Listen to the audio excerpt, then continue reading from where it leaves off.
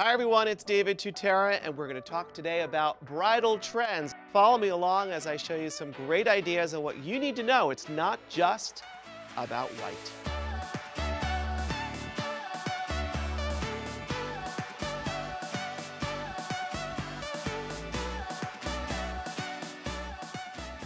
I'm here at Jaybirds in Culver City, and we're gonna have some fun looking at some beautiful wedding gowns.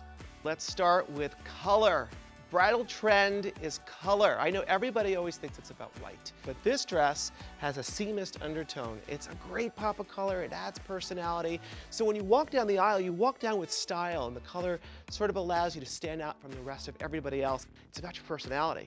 And your personality can be told through fashion, so you can do it through color.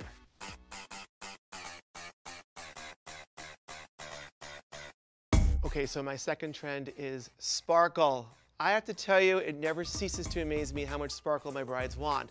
But the reality is, is that they keep asking for more. So my trend right now is to continue to add more sparkle in my gowns. As you can see right here in the bodice, there's beautiful detail to the attention of sparkle. And it's just enough to add that amazing moment when you walk down the aisle. And if you don't think you have enough sparkle, there's always somewhere to add it.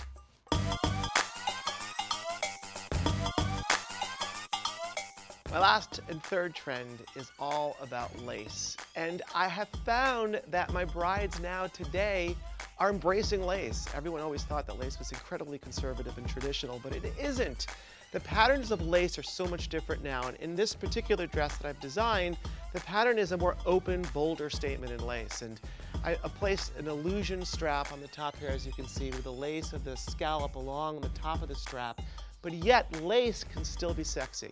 There is a plunging neckline, which of course has the illusion in the center. The bodice at the top of it with the detail all the way down to the hemline. And then the bottom of the dress has the scallop along the trim. So the attention to detail through lace is just as important as the color that you pick. So embrace lace because it is a trend today.